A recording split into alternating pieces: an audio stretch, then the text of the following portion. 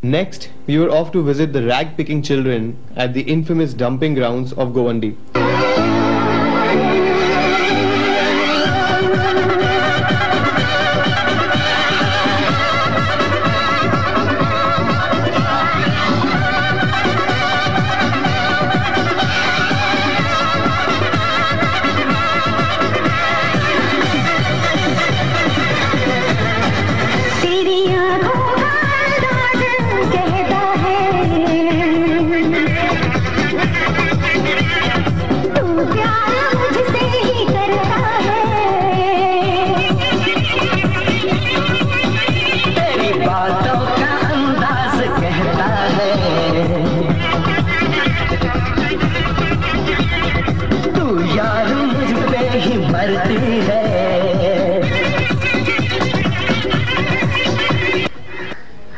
This is where the waste of all Bombay is dumped.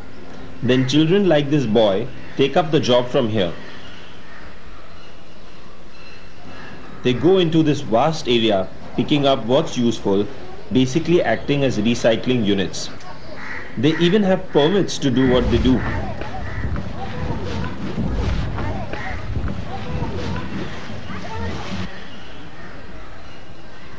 Amidst this, a school for these kids.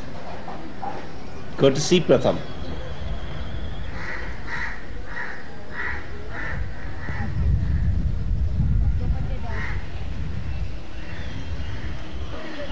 But definitely in an area like that, you need medical care for these kids.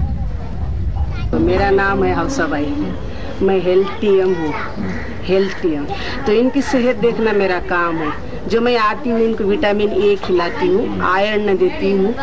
तो यानी iron की गोली जो होती है वो तीस दिन देने की होती है। हर एक बच्चे को तीस दिन देने की होती है। और विटामिन ए छः महीने के बाद हम लोग एक गोली देते हैं। तो ये जब भी मैं आऊँ तो ये बच्चे मेरे बोलेंगे कि मैं गोली खाता हूँ। तो मैं हम लोग गोली नहीं बोलते चॉकलेट बोलते मैं चॉकलेट खाया है तो बच्चे बोलेंगे हाँ मौसी हमने चॉकलेट खाया है।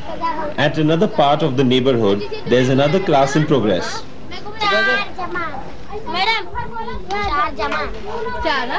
As you can see, our camera wasn't able to film as well in the same light, which to these kids seemed sufficient to carry on with their class. Amidst this class, a young mother of 15 feeds her baby as she learns with the other kids. तो फिर इधर side में करो ना बाजू में देना madam ये बाजू में ये बाजू में ये बाजू में ये बाजू में ये बाजू ये बाजू में में तू लिखना विषय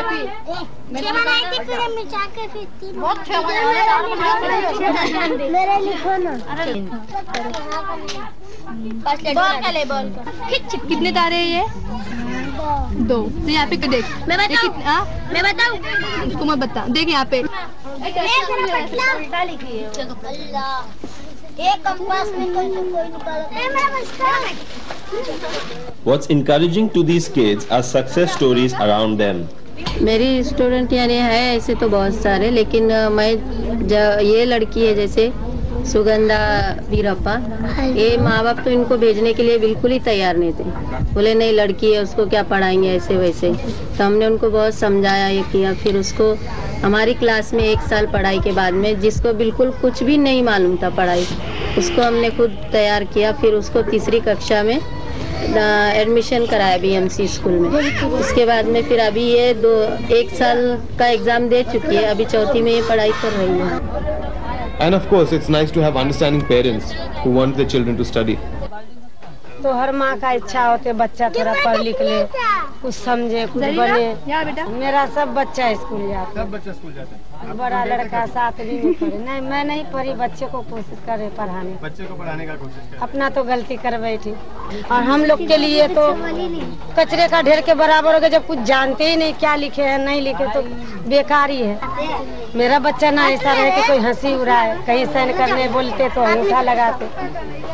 तब वो गलती बच्चे को कैसे जानबूझ के है वो मनसा निकाल मेरे सातवीं में बड़ा लड़का पढ़ा है जबकि ये गली वाले लोग अभी अभी बच्चे को ये टीचर के आने से जैसे हम कहने से हमारे बच्चे को देख के तो सब पढ़ाते हैं Nasreen is one of these kids that she talks about who are going to school today because of an awareness in the neighborhood. School school का नाम म्यूनसिपाल्टी वहाँ पे उर्दू पढ़ाते हैं इंग्लिश पढ़ाते हैं। कितने में पढ़ती है? पहली में। पहली में?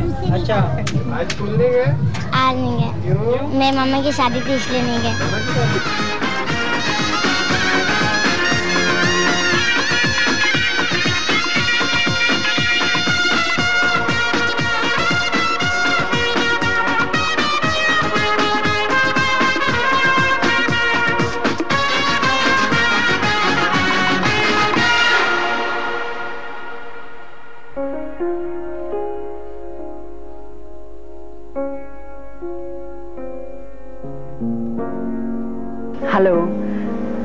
Wahida Rahman and uh, I am ambassador to Pratham. You can say I'm part of Pratham, I am Pratham. जिस चीज़ की सख्त ज़रूरत है इस मुल्क में वो है एजुकेशन मतलब तालीम बच्चे जो हैं आजकल के हमारे वो हमारे फ्यूचर हैं इस कंट्री के फ्यूचर हैं तो वो पढ़े लिखे होंगे, समझदार होंगे तो वो इस मुल्क को शायद बेहतर तरीके से, सही तरीके से और आगे बढ़ा सकेंगे।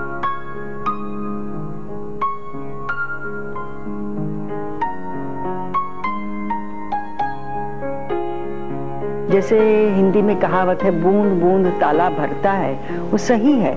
और जब एक एक दस बच्चों में अगर एक लड़का पढ़ निकला और समझदार हो गया, वो अपने साथियों को, अपने भाई बहनों को समझा सकता है।